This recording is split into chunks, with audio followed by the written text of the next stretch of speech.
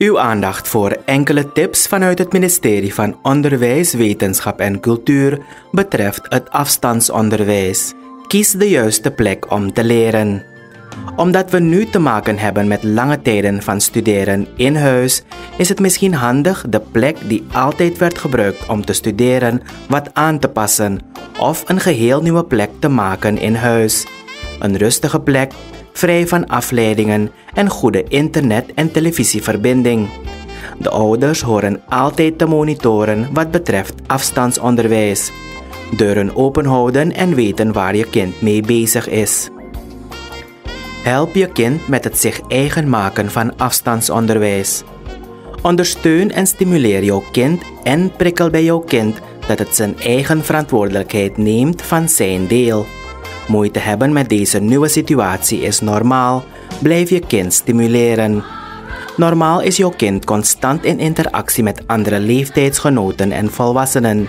Het is niet erg dat jij als ouder deze mensen kan vervangen. Blijf met elkaar praten, ouder en kind. Monitoren van de tijd wat betreft staren naar een scherm omdat we nu te maken hebben met afstandsonderwijs, zal er meer worden gedaan op televisie, telefoon, laptop enzovoorts.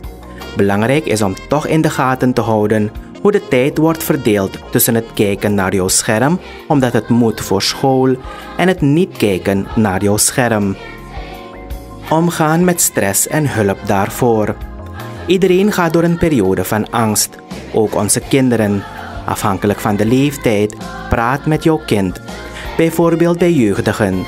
Die vinden het erg prettig in zo'n situatie als er met feiten wordt gesproken. Als je als ouder hulp nodig hebt, maak alsjeblieft gebruik van betrouwbare bronnen zoals de leerkracht, schoolleider enzovoorts. Blijf in contact.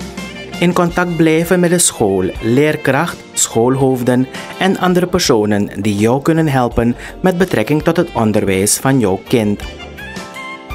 Blijf in contact met vrienden. Kinderen zullen na enige tijd hun vrienden, leerkrachten en leeftijdsgenoten missen. Help jouw kinderen dat ze in contact kunnen blijven met hun vrienden, uiteraard via social media. Let wel op de manier hoe jouw kind met social media omgaat. Herinner jouw kind dat het beleefd en respectvol blijft omgaan in de context van social media. Het blijft toch belangrijk dat kinderen werken aan het behouden van gezonde vriendschappen en positieve interacties met anderen. Zorg voor momenten van rust en reflectie. Ouders die thuiswerken met kinderen van verschillende leeftijden is het aan te raden om momenten van rust en reflectie in de structuur van de dag aan te brengen. Lezen is een belangrijk aspect binnen de context van rust en reflectie. Routines ontwikkelen. Ontwikkel een flexibele routine en praat erover hoe die zal werken in de loop van de tijd.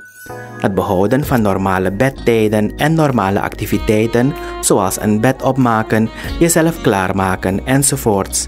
Een dag van laat naar bed gaan en laat opstaan mag natuurlijk ook wel. Stimuleer lichamelijke oefeningen. Leven en werken thuis zorgt ervoor dat je behoefte zal hebben om ook regelmatig stoom af te blazen. Beweging voor een ieder van het gezin is goed voor de gezondheid, welzijn en vooral voor het openstaan om te leren.